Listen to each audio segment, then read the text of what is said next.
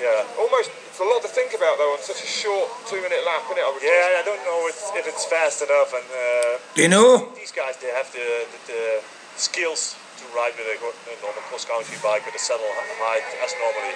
So in this heat, then the number three, Perenganio, Bouchard, 14, Jaroslav Kulhavy, the 19 at the back though.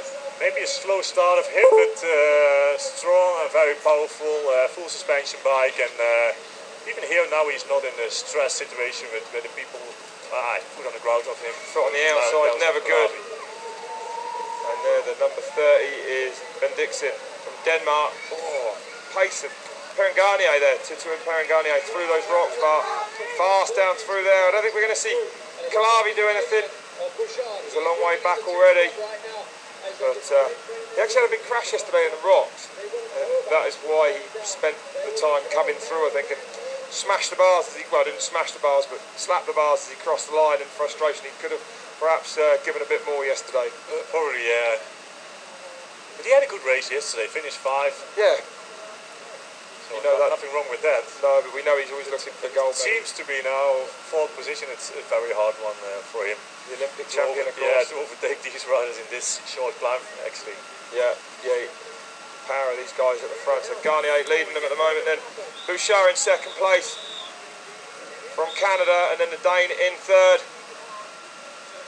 So Kulhavy perhaps not looking too stressed about this now, just hanging in there in the back.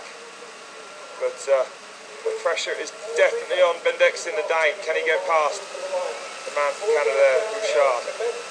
Come down now to the last rock section. Really caused any problems this year, has it, Bart?